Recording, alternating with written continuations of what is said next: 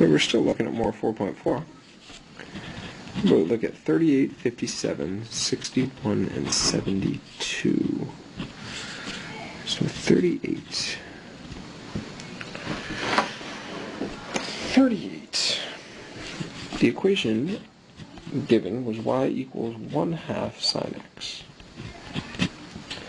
The directions are saying we want to use a graph and try not to use our calculator and identify some max and mins.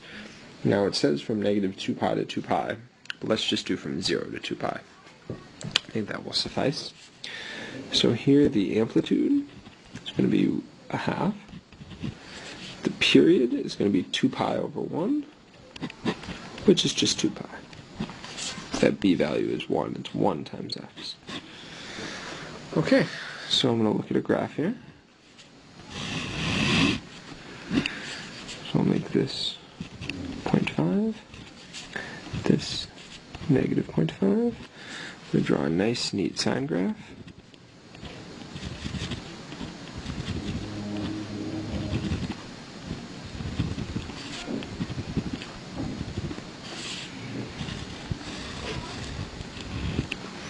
So there's one cycle of my sine graph from 0 to 2 pi. And I want to list the maxes, mins, and zeros. So it looks like I have zeros at three points. My zeros are 0, 0, uh, 2 pi 0, and then this point right in the middle, which looks to be at pi 0. So I have three zeros. Uh, I could have also said x equals 0, pi, and 2 pi if I just wanted to list out the x values, or I could write out uh, the full coordinate of the zeros. Uh, looks like I have a local max up here. That's a local max. And it looks like that local max is at, well, this tick, I have 0, 0 marked in. I have pi 0. This tick marks looks like it's going to be between 0 and pi, which would make it pi over 2. So that local max is at pi over 2, comma 0.5. And that local min,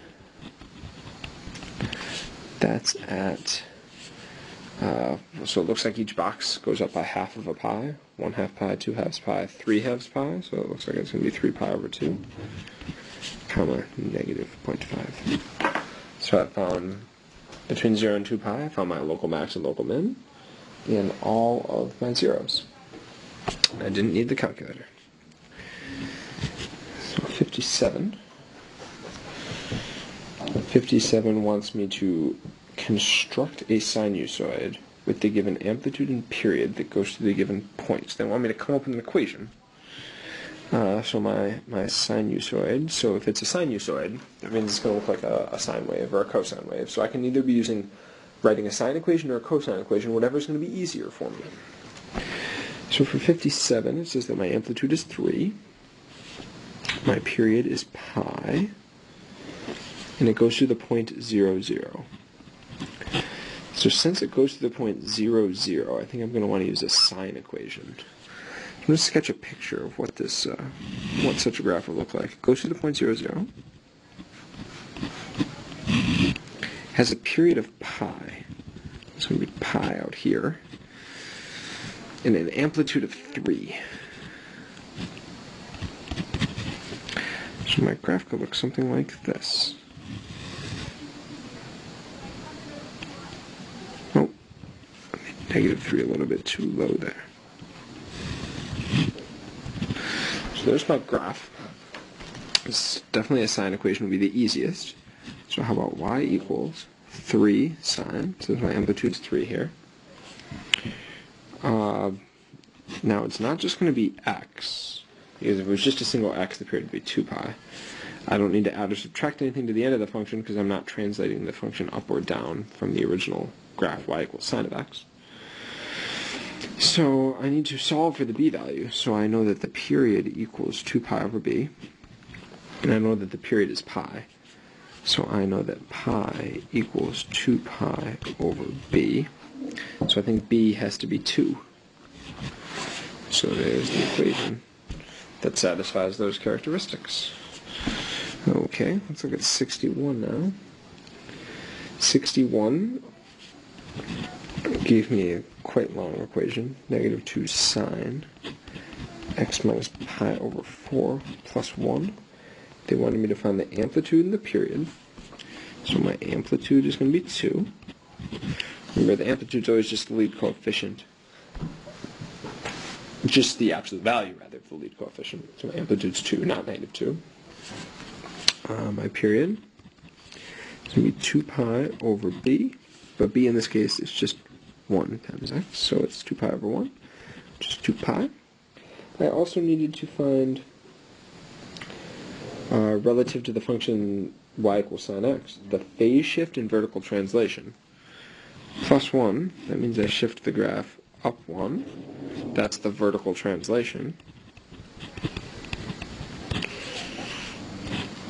And then that x minus pi over 4, that's going to shift the graph to the right, pi over 4, and that is my phase shift.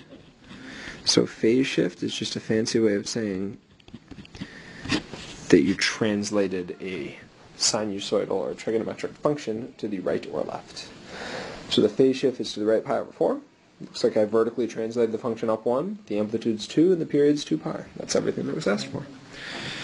Now I don't know if I'll be able to fit 72 into the space provided here, but I'm going to try. Uh, the question says that a signal buoy in the Chesapeake Bay bobs up and down with the height h of its transmitter, which is in feet, above sea level, modeled by the equation. So they give me the equation h equals a sine bt plus 5 now it makes sense that this equation is sinusoidal because I'm picturing a buoy bobbing up and down in the sea. So it seems like it would be described by a sinusoidal function because it's bobbing up and down. Uh, so I'm trying to figure out the values of A and B here. So it says during a small squall, its height varies from 1 feet to 9 feet. And there are three and a half seconds from one 9 foot height to the next. Okay, so the first thing that I was told is that the height varies from one feet to nine feet. That means that the wave is, or the, the height differential between the lowest point and the highest point is eight feet. The amplitude is half of that, so my amplitude is going to be four. And now the from one nine foot height value to the next is three and a half seconds. So that means that the period is 3.5. So I need to set that equal to 2 pi over b and solve, and I'll get b equals 2 pi over 3.5. So that is my b value. And I now have an equation that describes the motion of the buoy. So I did fit in on that page. And we're done with the four problems.